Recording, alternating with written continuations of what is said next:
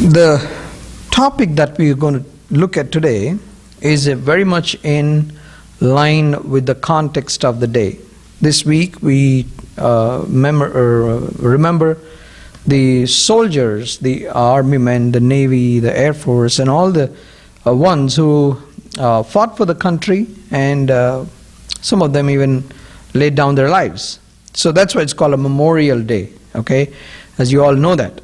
so here Today, I want to talk to you about what these uh, people have done for us, and at the same time, we want to talk about a person greater than all the ones that who laid down their lives. Okay, so let's uh, uh, uh look at a verse that say uh, in Proverbs 18 and 16. Proverbs 18:16 the first part says a gift opens the way for the giver. A gift opens the way for the giver. Now what the soldiers have done for us is they have uh, you see for any country the soldiers uh, they risk their lives and then they uh, fight the enemies and protect the people uh, so therefore, uh, John 15 and verse 13, as we all know, says, Greater love has no one than this, than he lay down his life for his friends. Greater love has no one than this, that he lay down his life for his friends. So therefore, here you find that a person who loves will show it in action. Here you find greater love has no one than this, than he laid down his life for his friends. So we have seen that some people have laid down their lives for the citizens. Here we see another very, very great person in the Bible, that is Jesus Christ, who also laid down his life for us. Now, so, on any occasion, what we do is we give gifts, is it not? We give gifts. There's a birthday. Yesterday we went for a birthday party. So, you go for an occasion, you'll give a gift. So, today what we're going to do is we're going to see Jesus Christ or God giving a gift to the people, to the mankind, and how that gift is different from the way we give gifts. Okay? Now, usually there'll be, there'll be uh, uh, several points, so I want you to remember them. Number one, the first point you must remember is you don't give gifts to a person just uh, without any occasion, is it not? You'd give a gift only when there is an occasion. And usually, you give a gift on a happy occasion. On a happy occasion, birthday, weddings, and right? You usually give gifts on a happy occasion. God also gave a gift to the mankind. What is that gift? Romans 6 23. What does it say? We all know this, right? For the wages of sin is death, but the gift of God is eternal life in Christ Jesus. It is a gift of God. God gave us a gift, and that gift is eternal life. And Jesus said, I am the way, the truth, and the life. In Acts chapter 1, uh, Luke writes this and says, Wait for the gift. Verse 4, 1 4. On one occasion, while he was eating with them, he gave them this command Do not leave Jerusalem, but wait for the gift my Father promised. Who is this gift? Is the Holy Spirit. Who is the Holy Spirit? Nothing but after Jesus Christ went, he came and started dwelling in the hearts of the people, and that's what is called the Holy Spirit. So that is the gift that he's talking about. So, on what occasion did God give the gift to the human beings? Do you get it? We give gifts to people when there is a happy occasion. What was the occasion when God gave the gifts to the people? Psalm 52, Psalm 52, 2 and 3 tells you the occasion. Psalm 52, 2 and 3, here is the occasion. uh, 53, chapter 53, verse 2 and 3. God looks down from heaven on the sons of men to see if there are any who understand, any who seek God. Everyone has turned away, they have together become corrupt. There is no one who does good, not even one. This is the occasion when God is giving the gift. So I want you to compare the gifts that we give and the gift that God gave to the people. So we give a gift when we are, when there's an occasion, there's a happy occasion, a graduation, a birthday, a wedding, or whatever. But God gave a gift at the time when the people they turned away from Him, when they altogether became corrupt, when they're not good, not even one. Can you tell me something? A situation where there's not even one person who is good in the whole world. Not even one. You find a very similar statement that God talks about the people of Jeremiah, uh, people of Israel through Jeremiah chapter 5 verse 1. Go up and down the streets of Jerusalem, look around the, and consider, search through her squares. If you can find but one person who deals honestly and seeks the truth, I will forgive this city. One person. So that is the depravity of man. And in that point, God said, I want to give you a gift. I want to give you a gift when you fail in your exam. Have you ever seen that? You fail in your exam, God says, I'll give you a gift. Usually, as parents, we promise gifts to our children when they succeed. I do that. If my kids get straight A's, I tell them, okay, you get whatever you want. If they don't get straight A's, I've denied uh, gifts to them. I said, no, you don't deserve it. But our God is not like that. Our God is a God, when He saw we were altogether corrupt, we were wicked, turned away from Him, not even good, not good, not even one person good. God said, I have a gift for you guys.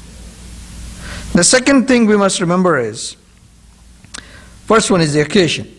Number two, in our case, the giver is different from the gift, is it not?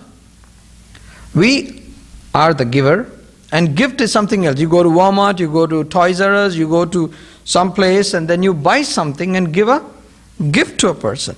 Now look at what God did. Isaiah chapter 9 and verse 6. Isaiah chapter 9 and verse 6 says, For to us a child is born, to us a son is given, and the government will be on his shoulders. He will be called Wonderful Counselor, Mighty God, Everlasting Father, Prince of Peace. For to us a child is born, and to us a son is given. Who is it talking about? Jesus Christ. Jesus Christ. John says, The Word became flesh and dwelt amongst us.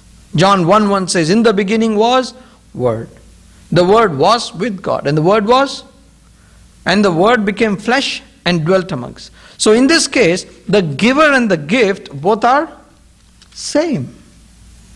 In our case, the giver is different, the gift is different.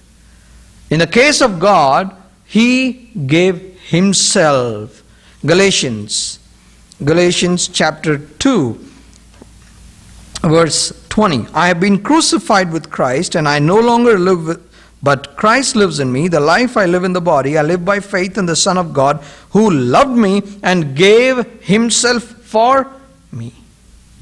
It says, He gave himself for me.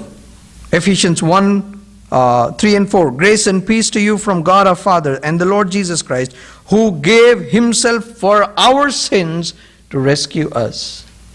Who gave himself. When you say he gave himself, the giver and the gift both are the same persons. The third thing that we need to remember is when we give a gift to somebody, we spend a little amount and we then give a gift. Now, how much do you spend to give a gift? Let's be practical. How much do you spend? Now, do you spend your entire salary to give a gift? Even the richest person, I mean, you find rich people giving gifts to one another. Suppose somebody gives you an Audi car or a Bentley car or Rolls Royce. I tell you, I can bet the person, whoever is giving you the gift, has much more left with him than what he's giving to the person as a gift.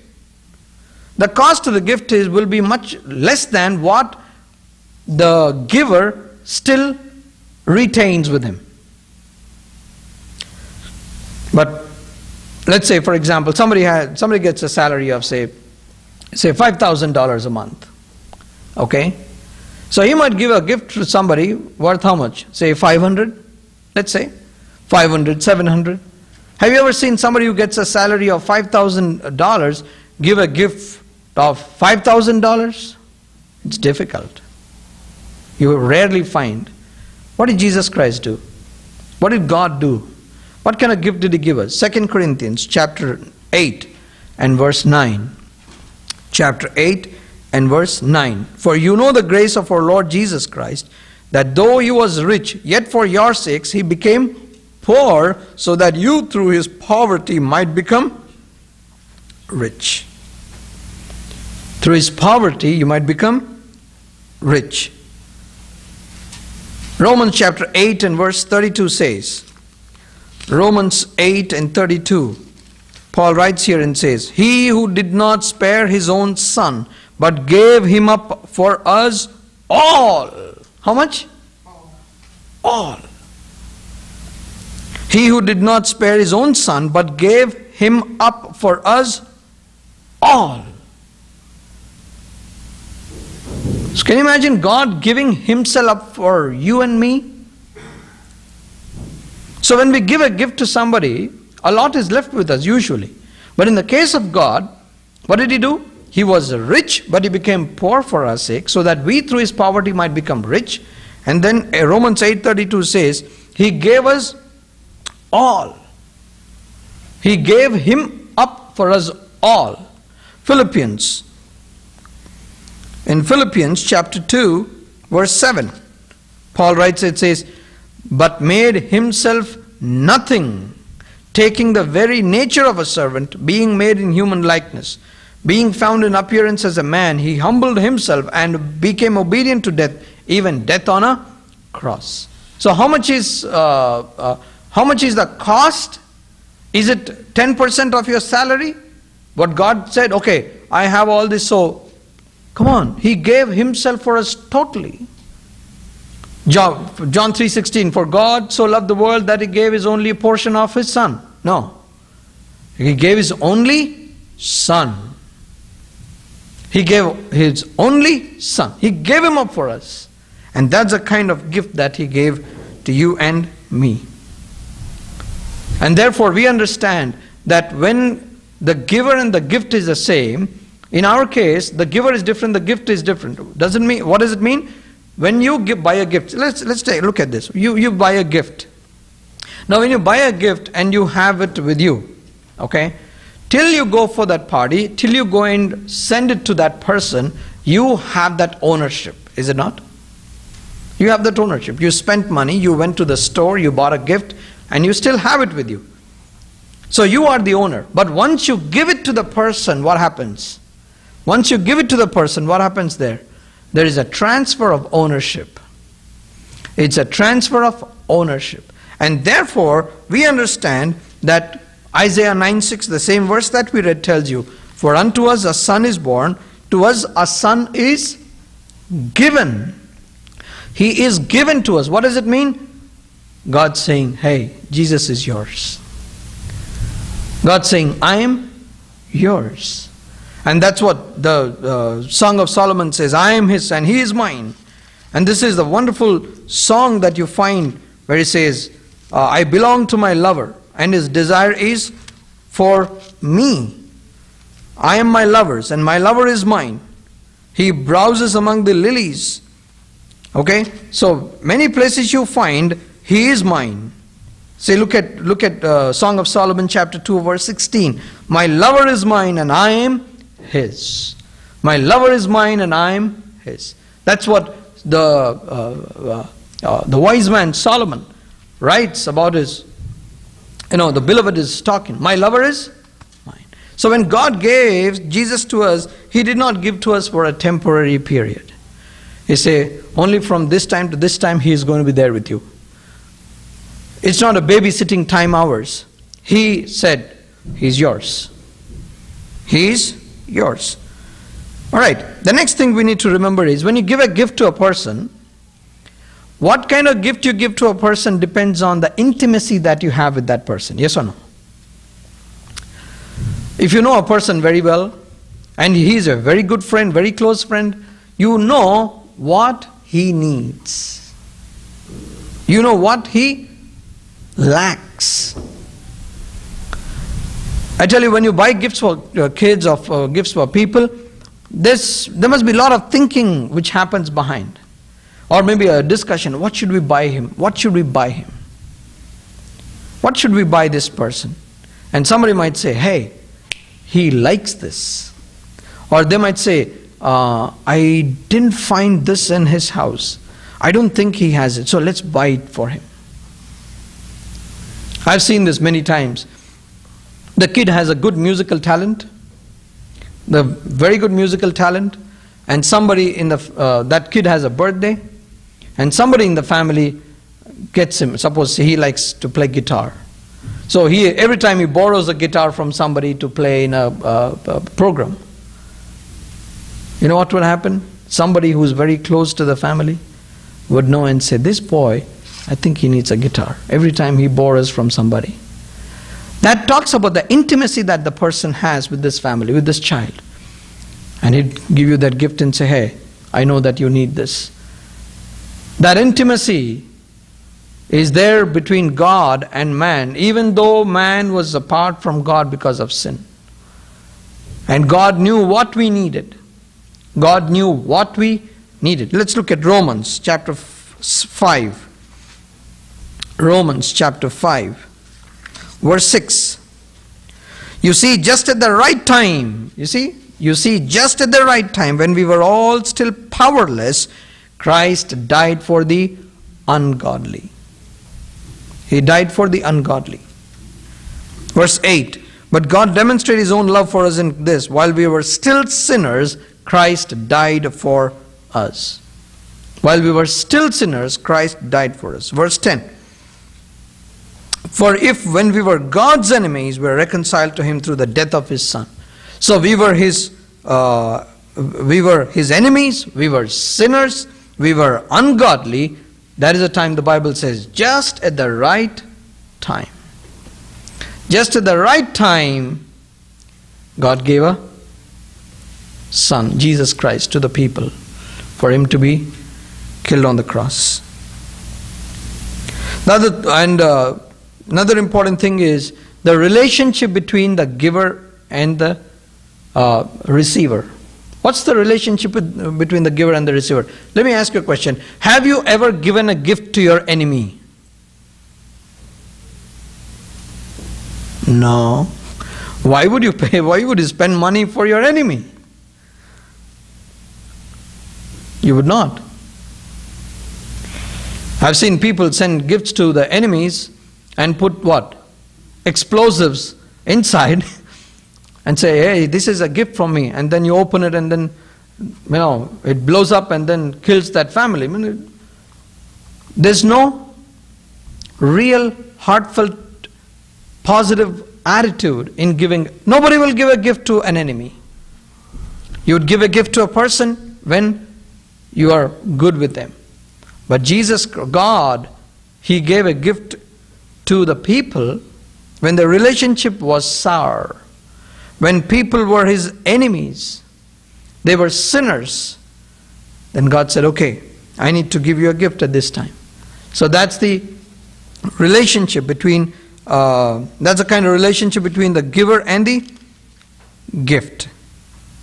See, uh, Galatians 4, 4 and 5 says, But when the time had fully come, God sent his son, born of a woman, born under law, to redeem those under law. What do you mean by redeem?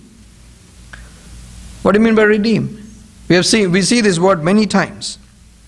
We see this word many times. Pay a ransom. Pay a ransom and free that person.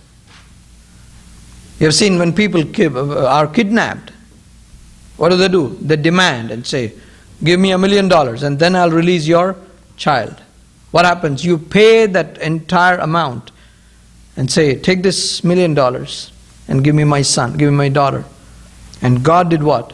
He paid the price when the relationship was sour. Okay, the next thing that we remember is nobody who buys a gift and gives it to the person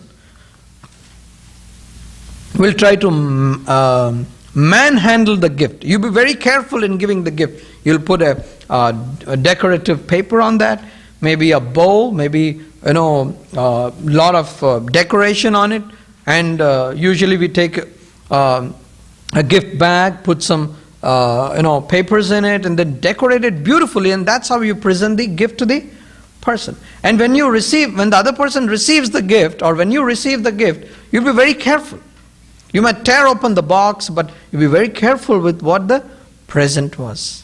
Some people have gifts with, uh, uh, kept with them for years and years. They've cherished those uh, gifts. God gave His Son Jesus Christ as a gift to the people. What did the people do to Him? They manhandled that gift. Philippians 2 7, just as we read, says, they even killed Him on the cross. When Peter stood up and spoke on the day of Pentecost, and this is what he said You men of Galilee, you men of, uh, you men, you have killed, men of Israel. Verse 22, 222. Men of Israel, listen to this. Jesus of Nazareth was a man accredited by God to you by miracles and wonders and signs, which God did amongst you through him, as you yourselves know. This man was handed to you over by God's set purpose and foreknowledge, and you, with the help of wicked men, put him to death by nailing him to the cross. Would you do something like this to the uh, gift? Somebody gives you a gift, yeah? A teddy bear, for example. Somebody gives you a teddy bear. Would you take a knife and cut it open and then tear it off? No. You cherish it. You'll keep it. You'll protect it. This what happened to the gift that God gave. Jesus was given as a gift to you and me, but he was nailed to the cross. He was killed on that cross. Okay. The next thing that we need to remember is the gift that we give to uh, the other people or the gift that we receive has a corruptible nature. One day it will perish, is it not? Even if you protect it so well, it will perish one day. What about Jesus Christ? What about Jesus Christ? Now, what is the what is the worst way of perishing? What is the worst way of perishing? Dying. Right? The worst way of perishing is dying, cease to exist. What did what happened when Jesus died? Peter's in the same context in chapter 2